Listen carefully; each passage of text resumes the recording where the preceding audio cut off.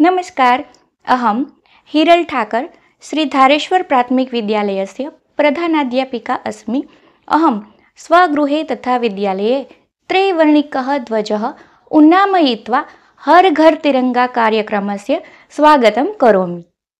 भारतस्य ध्वजः त्रैवर्णिकः अस्ति। अतः अस्य ध्वजस्य हिंदी नाम तिरङ्गा इति अस्ति। वर्णानां सर्वप्रथम रङ्गः नारङ्गः अस्ति। एषः ध्वजस्य ऊर्ध्वभागे अस्ति। द्वितीयरङ्गः श्वेतः अस्ति।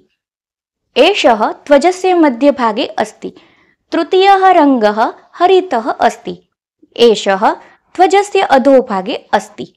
ध्वजस्य मध्यभागे अशोकचक्रः अस्ति।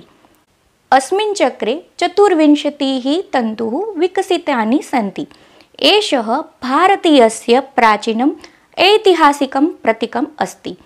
भारतीयः ध्वजः स्वतन्त्रतायाः, अखण्डतायाः, स्वातन्त्र्यस्य च प्रतीकः अस्ति। एषः ध्वजः भारतीयजनस्य एकत्वस्य विविधतायाः च महत्त्वं सर्वे हर् घर् तिरङ्गा कार्यक्रमे देशभक्तिपूर्वकं भागं गृह्णामः तथा गृहे गृहे त्रैवर्णिकः ध्वजः उत्तोलयामः। हर घर तिरंगा घर घर तिरंगा। जयतु भारतं वंदे मातरम्।